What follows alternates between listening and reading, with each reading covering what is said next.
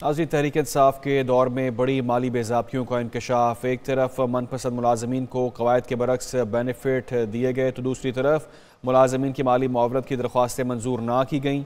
Lahore education authority में पौने ग्यारह मिलियन रुपए माली बेजाबियों की गई हैं और लाहौर एजुकेशन अथॉरिटी में कॉन्ट्रैक्ट मुलाजमीन मुस्तकिल होने के बाद भी सोशल सिक्योरिटी बेनिफिट लेते रहे हैं। दो हज़ार बीस इक्कीस की ऑडिट रिपोर्ट में इंकशाफ सामने आए, क्या डिटेल्स हैं, जानते हैं। हमें ज्वाइन किया है गौहर अली ने। गौहर, क्या तफसलत सामने आई?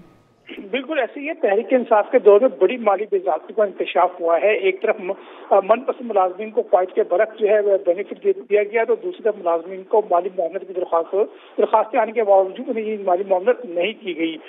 जो कॉन्ट्रैक्ट मुलाजमीन होते हैं, उनको ये बेनिफिट तो दिया जाता है, लेकिन जब वो कन्फर्म हो जाते हैं तो उनको ये बेनिफिट नहीं दिया जाता। तो ये मुलाजमीन पहले कॉन्ट्रैक्ट पे थे कन्फर्म हो गए, लेकिन उसके बावजूद जो है, उनको ये बेनिफिट दिया जाता रहा। तो ये ऑडिट रिपोर्ट पर बड़ा इंकशाफ हुआ है, इसकी तहकीकत जो है, वो जारी है।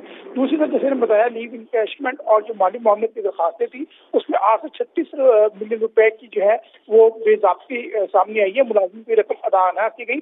लेकिन हैरत अंगेज बात यह है कि मेरिट के बरक्स जो थे मुलाजमिन उनको ये लीव इनकेशमेंट और माली मामलत की गई। लेकिन जो मामूल के मुताबिक रूटीन में आ रहे थे, बहस सिफारिश के आ रहे थे, उनको जो है, ये मामलत नहीं दी गई। तो ये बहुत बड़ा स्कैंडल जो है सामने है और जो कॉन्टेक्ट मुलाजमिन थे उनके मुस्तकिल होने के बाद भी जो को सोशल सिक्योरिटी बेनिफिट दिया जाता रहा। और हैरत ठीक है गौहर अली आपने अपडेट किया बहुत शुक्रिया आपका।